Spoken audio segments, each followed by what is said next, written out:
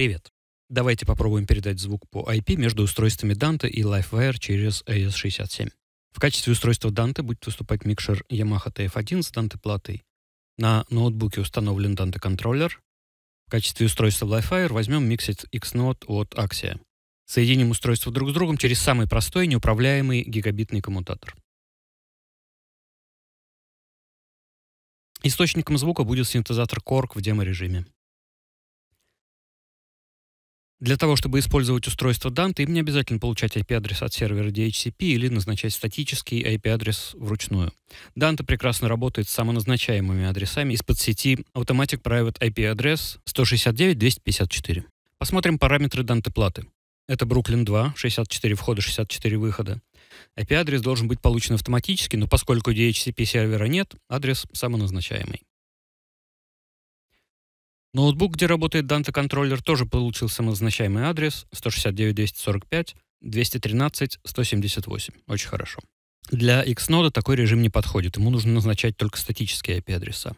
Для начала сбросим Xnode до заводских настроек. Отключаем его от электропитания, нажимаем обе кнопки на передней панели, держим, подключаем электропитание и ждем, продолжая держать кнопки нажатыми.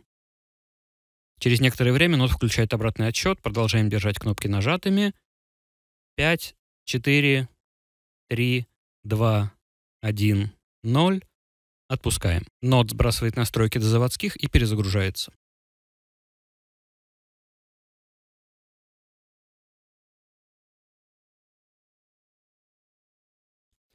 В реальности он делает все это гораздо дольше, но у нас уже все готово.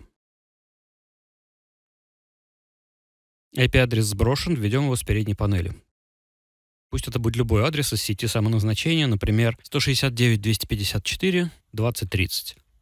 Маска под сети 255.255.00.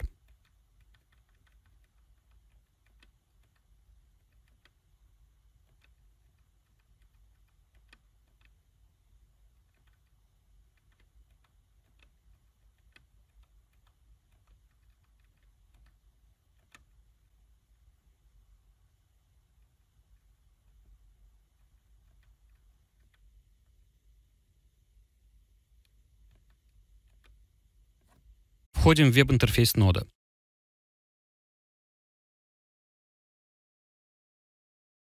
Обратите внимание, что в ноде должна быть как можно более свежая прошивка.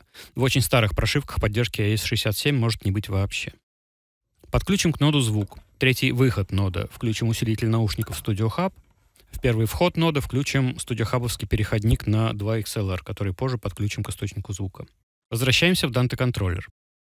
Открываем настройки платы в микшере Переключаем ее в режим AES67. Чтобы режим переключился, плату нужно перезагрузить. Это небольшой перерыв звука. Dante работает с синхронизацией по PTP версии 1, но AES67 использует вторую версию протокола точного времени. Плата перезагрузилась, запускаются выборы мастер-клока по обеим версиям PTP. Так как других устройств с PTP в сети пока нет, плата становится мастером и по PTP версии 1, и по PTP версии 2. Еще раз открываем настройки Dante устройства. В параметрах AS67 появилось значение префикса адресов RTP мультикаста для этого устройства.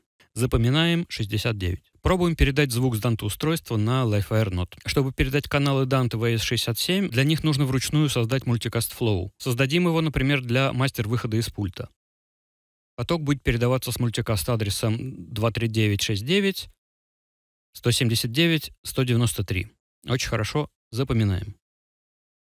Теперь нам нужно переключить режим синхронизации нода из LiveWire в PTP. В зависимости от того, будет ли нод работать и в сети LiveWire, и в сети Dante, или только в Dante, нужно выбрать подходящий режим синхронизации.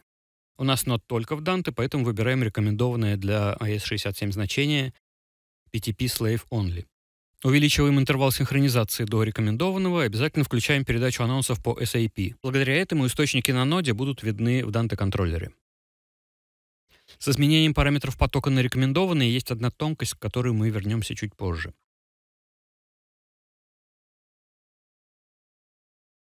Пока применяем новые значения, переходим на страницу статуса и ждем, когда нод синхронизируется с мастером. В сети AES67 в это время проходят новые выборы мастера. Это занимает около минуты.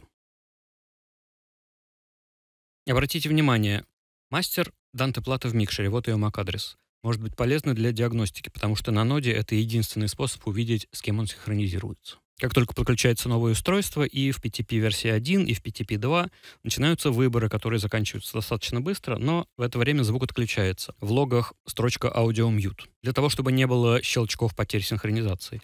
Поэтому не стоит подключать Dante устройство, например, во время концерта. Может временно отключиться что-нибудь важное.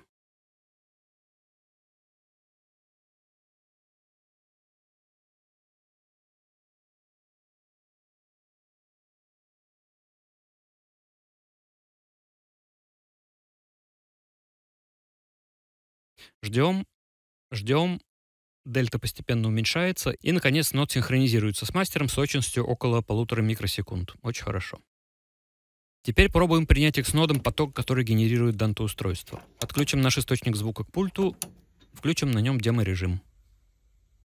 Мастер-выход из пульта с данты каналов 57-58, как мы помним, идет мультикаст-поток 23969 179 193. Выберем его на третьем выходе нода Переходим на страницу с индикаторами. Звук на третьем выходе появился. Можно послушать. Отключим в усилитель Studio Hub наушники. Звук есть. Теперь попробуем передать звук с LiveWire нода на Dante устройство.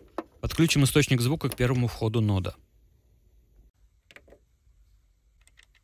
Зададим на ноде источник, соответствующий первому входу.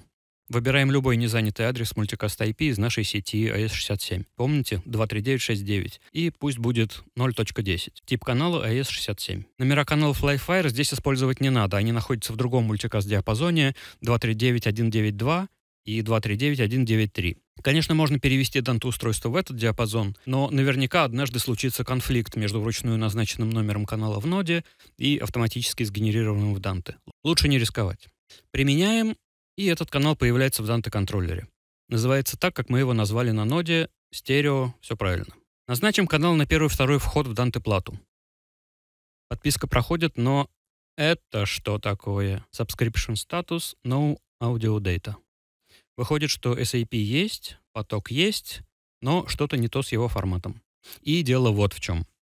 Получается, что в Xnode, во всяком случае в прошивке 2.4.7, параметры потоков, рекомендуемые для ES67, не подходят. А подходят параметры потоков, рекомендуемые для LiveWire, то есть по умолчанию. Возвращаем дефолтные параметры, применяем, подписываемся. Теперь удачно. Назначаем на пульте на первый второй фейдер, первый второй канал с данты платы. Звук появился, все удалось.